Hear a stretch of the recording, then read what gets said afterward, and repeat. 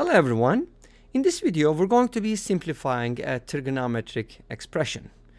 This expression contains tangent and pi over 8 in radians.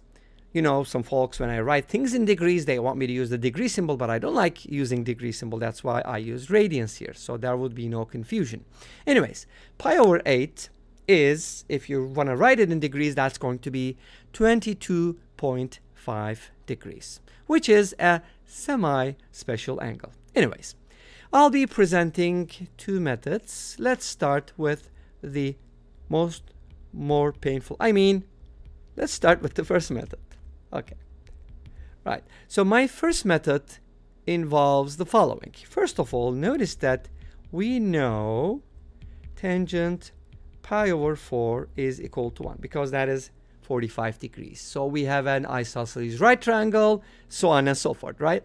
Now the question is, can we find tangent pi over 8 from tangent pi over 4?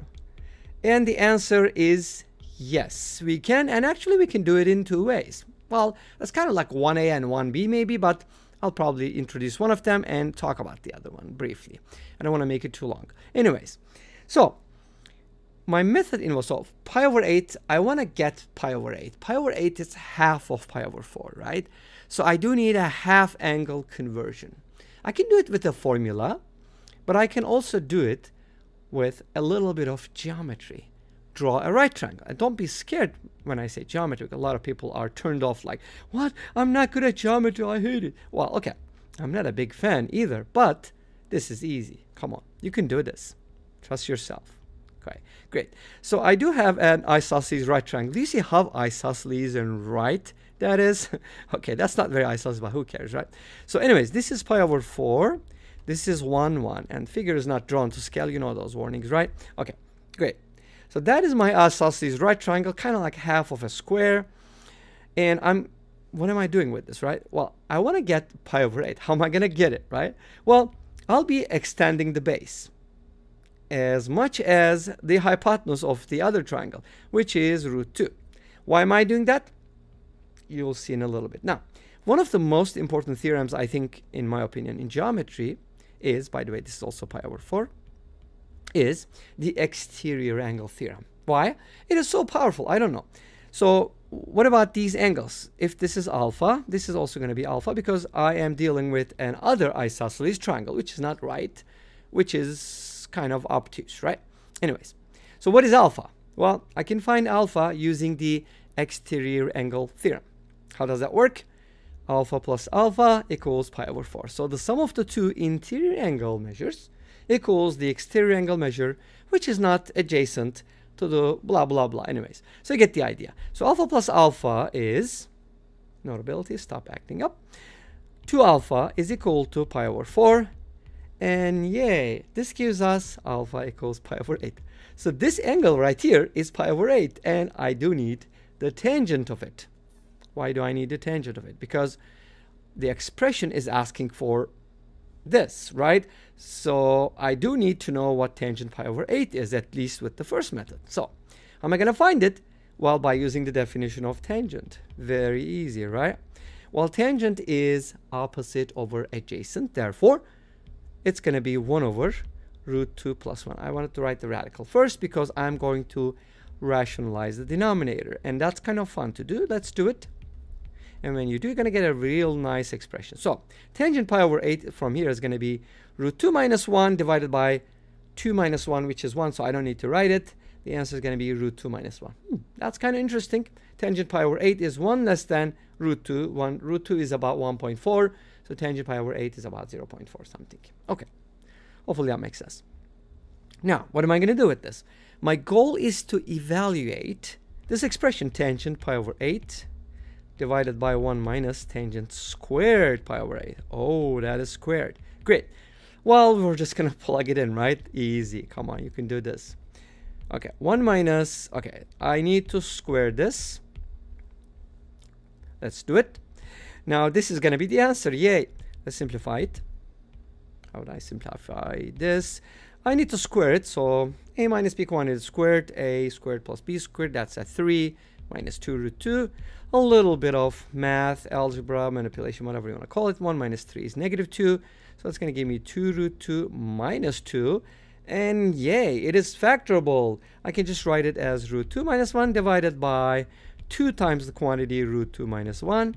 And yes, you can cross out root 2 minus 1, leaving you with 1 half. So the answer must be 1 half.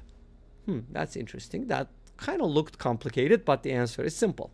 That's what happens a lot of times with math. Like you simplify a gigantic expression, at the end you get 1 or 0, and I'm like, did I do this for nothing? Yes, if you got 0, you did it all for nothing. Anyways, let's talk about the second method. My second method is, I think, I think you're gonna love this because it is fantastic. In my opinion, I could be exaggerating, or of course I do. Anyway, so my goal is to evaluate this expression, and I'm to do this without finding tangent pi over 8. Oh, by the way, I didn't talk about the 1b, but maybe after talking a little bit about second method, I want to talk about 1b if I don't forget, because it's kind of related and I don't want to give it away. Anyways, so I want to evaluate this without finding tangent pi over 8, because that would be first method. So how am I going to do it? Well, if you look carefully at the expression, and this is a question, by the way, I asked to my students, like in my trigonometry classes when I was teaching, obviously. I kind of stopped teaching, right? Um, I was introducing this problem, and everybody is, everybody is looking at it like they've never seen something like this because they've never seen it before. Anyways, I talk too much.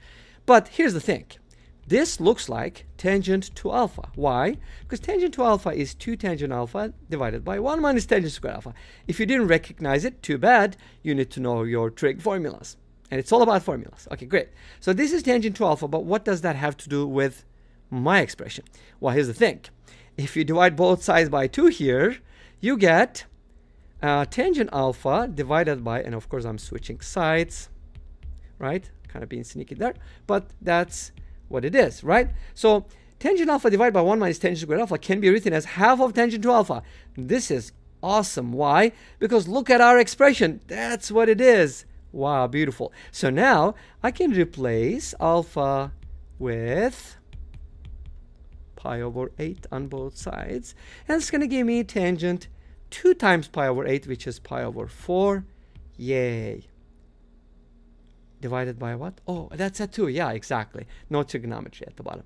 Great. So, but I do know tangent pi over 4 is equal to 1 because that tangent 45. Come on, guys. We just talked about the isosceles right triangle. So the answer is 1 half. That's pretty much it. But let's briefly talk about the 1b. What was 1b? 1b was basically, instead of drawing a right triangle, you could also use the tangent, you know, 2x formula and set it equal to you know, um, what am I talking about? Okay, tangent 2 x in this case is 1. And then if you solve this equation and look at the positive solution, that's going to give you tangent pi over 8. And this brings us to the end of this video. I hope you enjoyed it. Please let me know. Don't forget to comment, like, and subscribe. I'll see you tomorrow with another video. Until then, be safe, take care, and bye-bye.